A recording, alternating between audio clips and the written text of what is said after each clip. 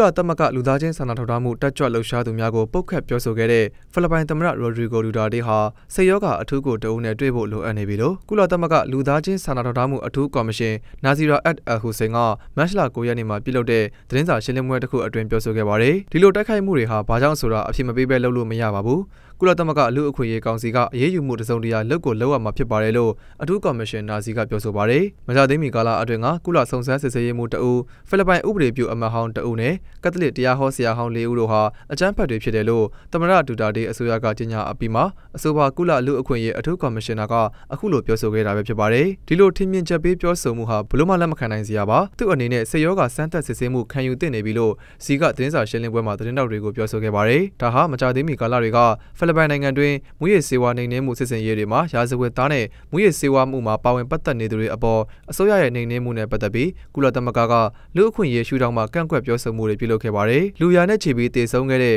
ဖိလစ်ပိုင်မူရည်စေဝါနှိမ်နင်းမှုတွေမှာအစိုးရကလူအခွင့်အရေးချိုးဖောက်မှုတွေနဲ့အလွန်အကျွံနှိမ်နင်းမှုတွေရှိခဲ့တဲ့ဆိုတဲ့ဝေဖန်ပြောဆိုမှုတွေကိုသမရဒူတာတေကရာဇဝတ်သားများဘက်မှခုခံပြောဆိုမှုလို့တုံ့ပြန်ပြောဆိုထားပြီးသူ့အနေနဲ့ရာဇဝတ်သားတွေကိုပြက်ပြက်တသားနှိမ်နင်းသွားမှာဖြစ်ကြောင်းကြေညာပြောဆိုခဲ့ပါတယ်။